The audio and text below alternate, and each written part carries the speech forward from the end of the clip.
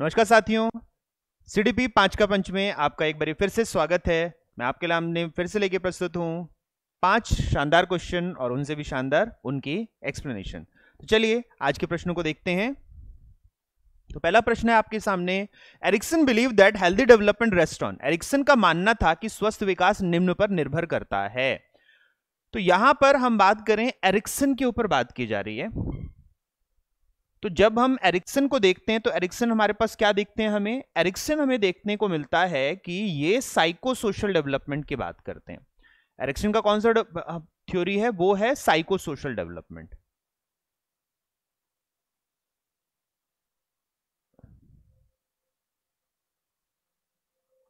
Ericsson मनोसामाजिक विकास की बात करते हैं।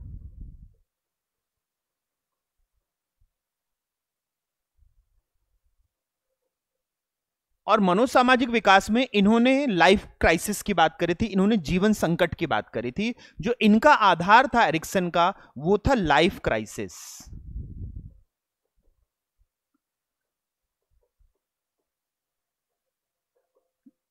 जब एक व्यक्ति या एक बालक इन लाइफ क्राइसिस से उबरता है तो उससे फिर इन्होंने बताया कि आठ चरणों में हमारा साइको सोशल डेवलपमेंट होता है एट फेजेस में एट स्टेजेस में हमारे पास हमारा मनोसामाजिक विकास होता है। तो ये किस तरह के कंफ्लिक्ट होते हैं लाइफ कंफ्लिक्ट किससे होते हैं? क्या ये मैस्कुलिन फेमिनिन है? क्या ये पुरुष और स्त्री के बताए इन्होंने? नहीं, पुरुष स्त्री के नहीं बताए इन्होंने।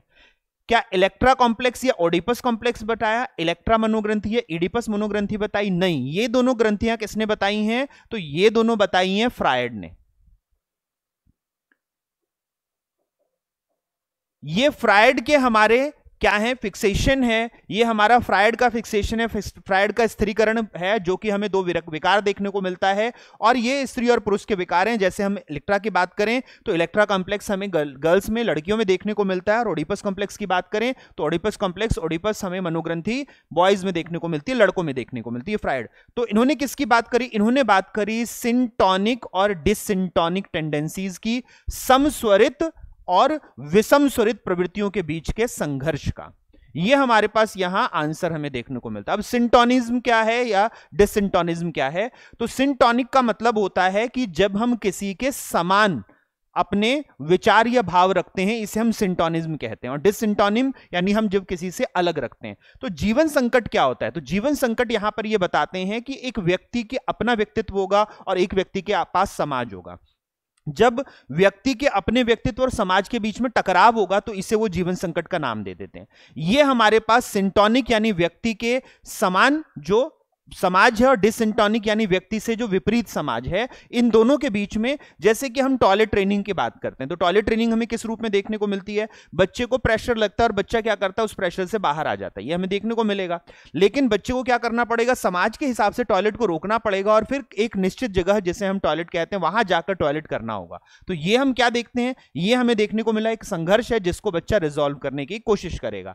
तो अलग अलग जगह हमें हर चरण पर अलग अलग तरह के संघर्ष देखने को मिलते हैं। और ये संघर्ष कैसे पूरे होंगे, इसको बताने का काम करते हैं। तो ये संघर्ष जैसे फ्राइड के हमें डेवलपमेंट में देखने को मिलते हैं। फ्राइड इन संघर्षों के ऊपर बात करता है, लेकिन इन संघर्षों के माध्यम से फिर इसको रिजोल्व करके संकटों को संकटों को समाधान करके जब आगे बढ़ते हैं तो फिर हमें देखने को मिलेगा कि संघर्ष का समाधान होगा और हमें मनोसामाजिक विकास देखने को मिलेगा साइकोसोशल डेवलपमेंट देखने को मिलेगा। चलिए नेक्स्ट क्वेश्चन को देखें।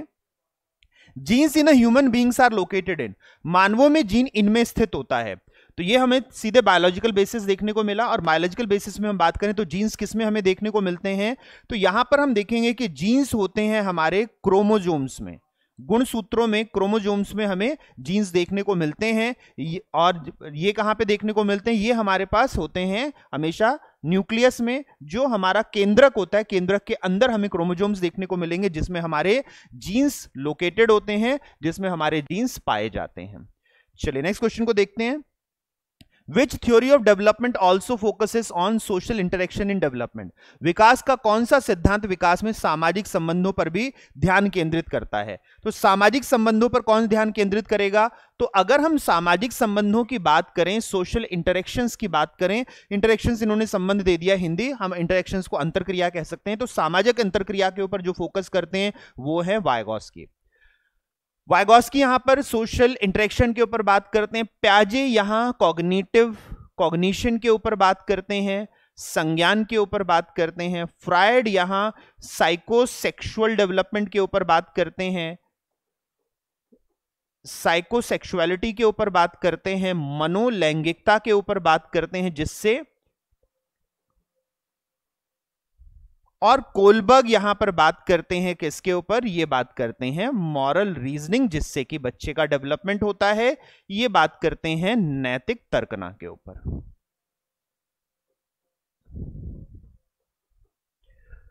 तो यहाँ पर चारों लोग, चारों मनोवैज्ञानिक अलग अलग हमें अवधारणा देते हैं विकास के लिए। संज्ञान के प्रयोग के माध्यम से विकास, प्याजे का मनोलैंगिकता के अनुसार विकास फ्रायड का और फिर नैतिक तर्कना के अनुसार मॉरल रीजनिंग का और सामाजिक अंतरक्रिया के अनुसार वायगोस्की का हमें देखने को मिलता है चलिए नेक्स्ट क्वेश्चन को देखें Asking students to list the uses of iron metal in class will help a teacher to examine which one of the following creative abilities in the students.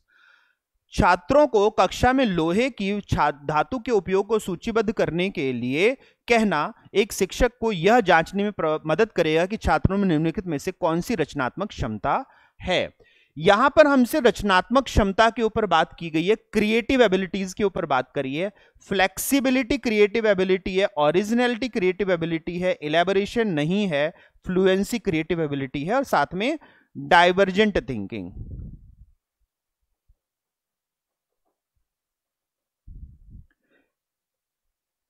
अपसारी चिंतन।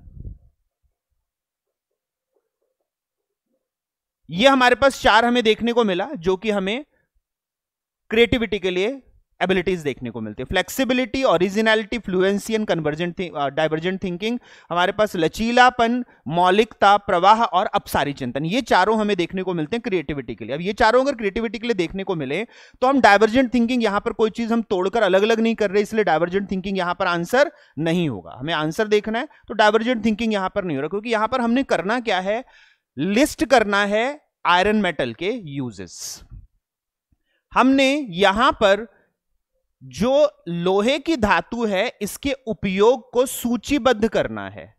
उपयोग को सूचीबद्ध करना है। यानी हमने उपयोग प्राप्त करना और उसको सूची, उसकी लिस्ट बनानी है। अब यूजेस को आइडेंटिफाई करके उसकी सूची बनाना। तो ये हमारे पास लचीलापन नहीं होगा क्योंकि कोई ऑप्शन नहीं है। तो इसीलिए ये लचीलापन नहीं होगा, है ना? ये लचीलापन नहीं होगा। तो हमें क्या देखने को मिल रहा है? क्या मौलिकता होगी? क्या यूजेस हम खोज रहे होंगे पहली बारी? नहीं, यहाँ पर लिस्ट करने के लिए कहा है, इसलिए हम नहीं खोज रहे होंगे। हम नहीं खोज रहे होंगे तो हमें तो यहाँ क्या देखने को मिलेगा? अगर हम अपने ब्रेन से सारे के सारे जितने यूजेस हैं, उसको री कंस्ट्रक्ट कर सकते हैं, उसको दोबारा ढूंढकर बना सकते हैं तो ये हमें प्रवाह देखने को मिलता है, इसीलिए उत्तर यहाँ फ्लुएंसी हो जाएगा। यहाँ पे उत्तर हमें फ्लुएंसी देखने को मिल जाएगा, क्योंकि हमने लिस्ट करना है, हमने सूचीबद्ध करना है तो सूचीबद्धता यानी जो पहले से मौजूद है, ना तो हम फ्लेक्सिबल कर रहे हैं कि एक जगह से बदलकर दूसरी जगह हो सकता है कि नहीं हो सकता ये देख रहे हैं कि अगर ये ऑप्शन नहीं है तो क्या कोई और ऑप्शन है? That is called flexibility that is that have the element of divergent thinking तोड़कर देखना अलग अलग देखना, ये डाइवर्जेंट थिंकिंग आती है। लेकिन यहाँ पर हम क्या कर रहे हैं? लिस्ट कर रहे हैं, इसीलिए प्रवाह रहेगा यहाँ पर उत्तर। चलिए नेक्स्ट क्वेश्चन को देखते हैं। The law of readiness was formulated by तत्परता के सिद्धांत का प्रतिपादन निम्न से किसने किया था? तत्परता का सिद्धांत जो कि हमारे ट्रायल एंड एरर एक्सपेरिमेंट था, या जिसे फेमसली हम क्या कहते हैं? हम कहते हैं कैट फ़िश केज एक्सपेरिमेंट तो हमारा जो था यहाँ पर प्रयास और त्रुटि का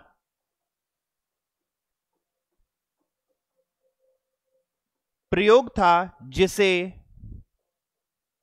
बिल्ली, मछली, पिंजरा प्रयोग कहा जाता है।